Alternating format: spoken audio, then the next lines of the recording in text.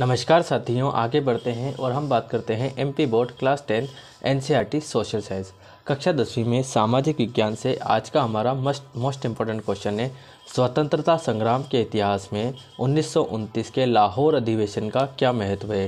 क्या क्वेश्चन हमसे पूछा गया है?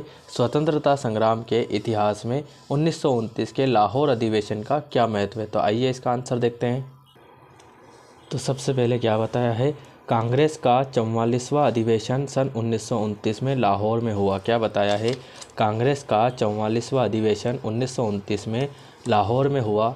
इस अधिवेशन के अध्यक्ष पंडित जवाहरलाल नेहरू थे। क्या बताया है कि इस अधिवेशन के अध्यक्ष कौन थे? पंडित जवाहरलाल नेहरू थे।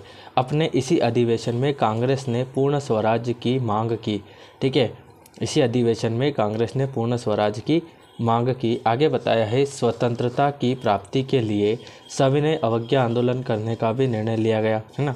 इसी अधिवेशन में स्वतंत्रता प्राप्त करने के लिए सविनय अवज्ञा आंदोलन प्रारंभ करने का निर्णय लिया गया। यह भी निर्णय लिया गया कि हर वर्ष 26 जनवरी का दिन संपूर्ण भारत में स्वतंत्रता दिवस के रूप में मनाया जाए। क्या बताया आगे? यह भी निर्णय लिया गया कि हर साल 26 जनवरी का दिन संपूर्ण भारत मतलब पूरे भारत में स्वतंत्रता दिवस के रूप में मनाया जाए। इस प्रकार 26 जनवरी 1930 को स्वतंत्रता दिवस के रूप में मनाया गया। इसके मनाए जाने से जन साधारण में एक बड़ा जोश पैदा हो गया और पूर्ण स्वराज का संदेश घर घर पहुँच गया। इसी कारण लाहौर अधिवेशन का भारतीय इतिहास में महत्वपूर्ण स्थान है। सिंपल सी बात है 26 जनवरी के दिन एक निर्णय लिया गया कि 26 जनवरी के दिन को हर साल स्वतंत्रता के रूप में मनाएँगे। इससे क्या हुआ था कि घर घर मतलब ये जोश जो है, पैदा हुआ लोगों में।